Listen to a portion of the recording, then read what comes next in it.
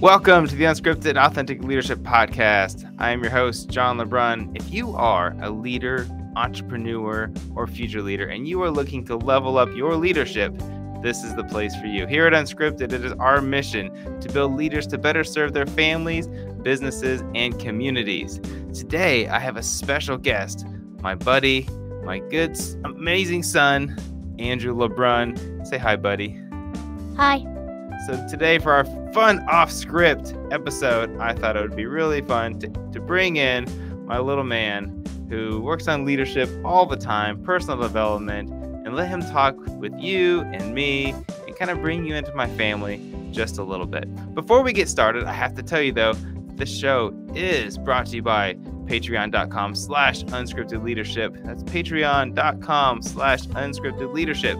Your contributions have been amazing in helping us reach more people. We are now in 42 countries in over 600 cities. And big shout out to Bromley in the UK. Bromley is our number one city for downloads. I don't know how that happened, but love you guys over there. And also, number two city is my hometown, Fairborn, Ohio. So appreciate the love, everybody. But get on patreon.com slash unscripted leadership and become a patron today.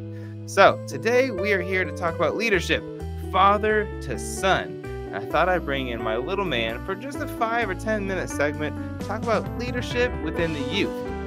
As leaders, if we are not building the next generation, what are we doing? As fathers, it is our duty to build our family, not just literally build them and grow them, but to build them as people so they can better serve their families, businesses, and and so today I have with you my son. He is John Andrew LeBrun the fourth, and we call him Andrew or Drewski.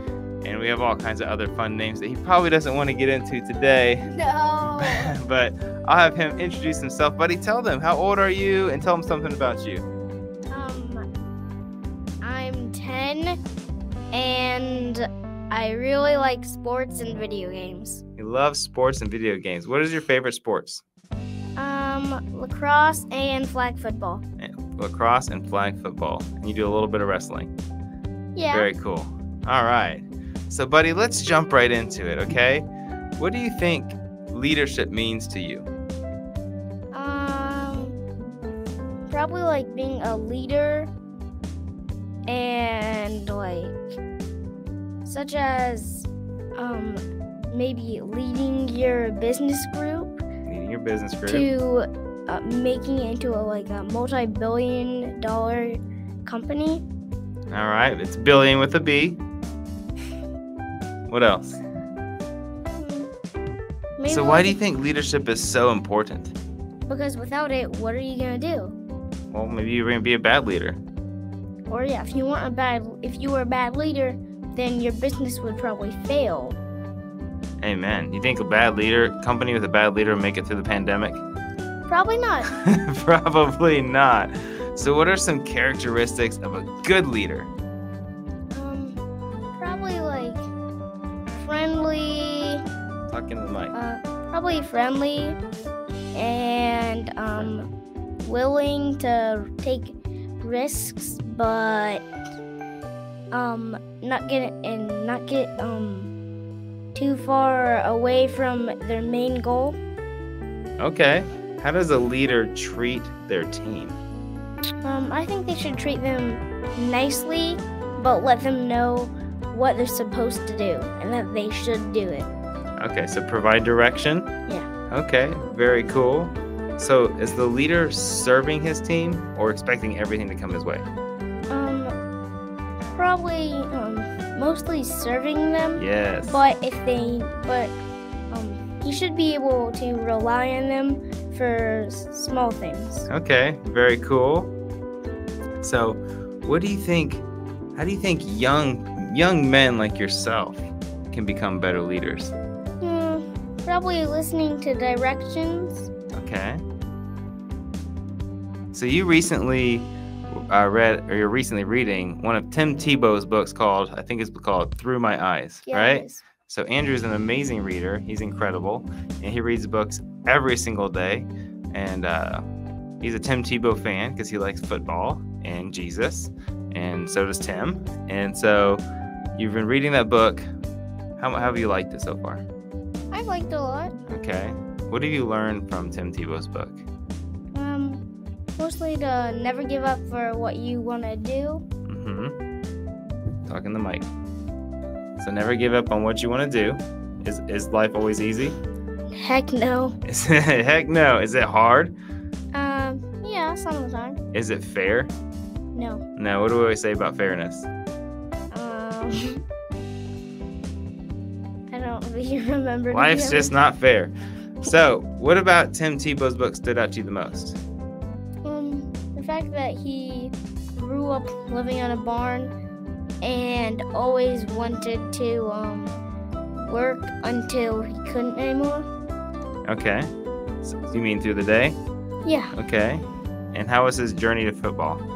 Um, it was hard. Mm-hmm. Um, he used to think that he wanted to do something, but then football grew on him, Mm-hmm. and then it got harder harder to as he got more popular because he did better in football, Mm-hmm. and then places started looking for him and asking him to join, and then it got really hard to um bring it down.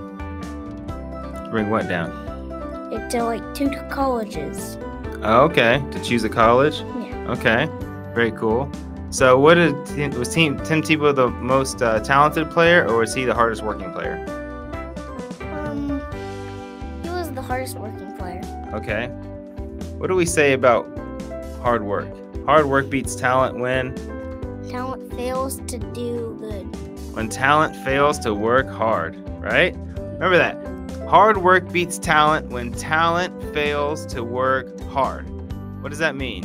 You don't have to be the most talented individual as long as you're willing to put the work in, right? Yeah. Yes, Andrew loves lacrosse. How often do you go practice before practice starts? Every time. Every time. You get there early? Every time. Are you the first one there? Um, pretty much every time. Pretty much every time you're the first one there. And do you start working out before the team ever gets there? Oh yeah. Like sometimes 30 minutes, sometimes an hour before the team ever gets there, Yeah. right? Why do you do that? Because it's hard work, and when you work hard, you get better. You get better. Are you the smallest one on the team? I definitely. you're the smallest one on the team. Like you're playing with the fifth and sixth grade. yeah, because I'm in fifth grade, Yeah. and I'm the smallest one. And you're one of the smaller ones even on the fourth grade team, True. right? Yeah. But does it matter? No, No. Why? because I can do better because I'm small, and I can work hard.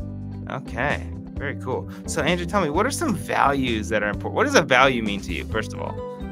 What are values? Something worth something. Okay. What is a value is something that's important to a person. What do they value? Like you value things around your house, you value traits about some people, right? Yeah. It, it's about how you uh, how you conduct yourself, like whether it's sincerity or honesty or being authentic, sort of stuff like that.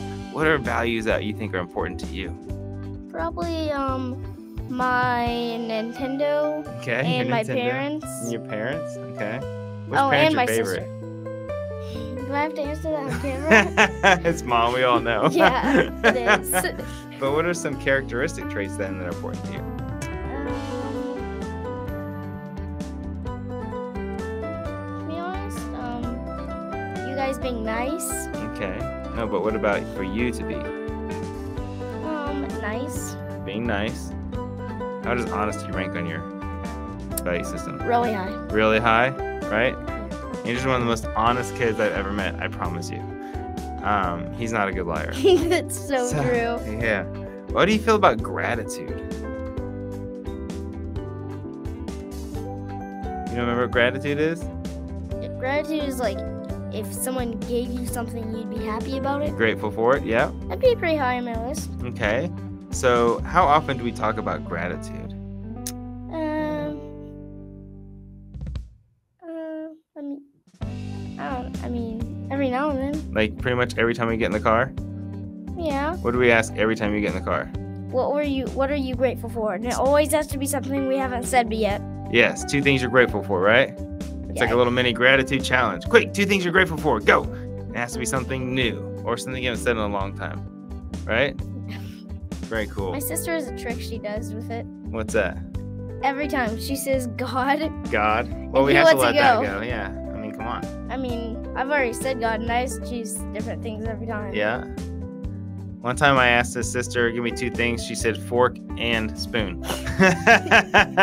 She did. So, all right, buddy. Hey, I just want you to know I am so proud of you. Okay.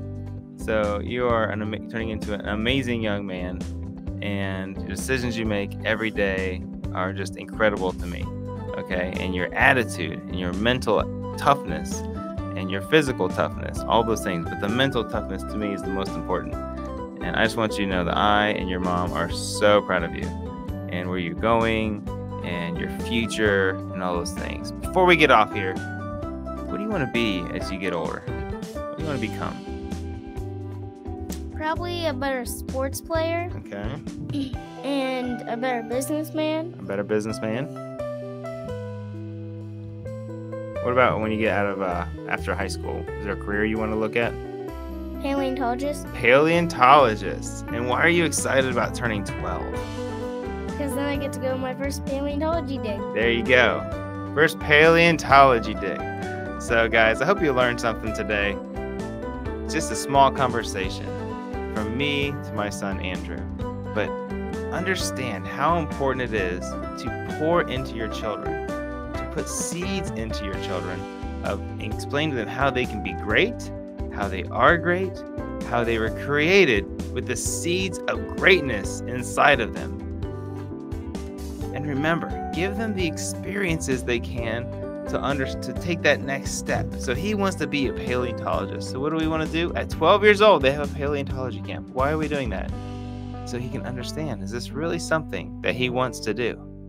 I understand not everybody can can do that right away. I get it.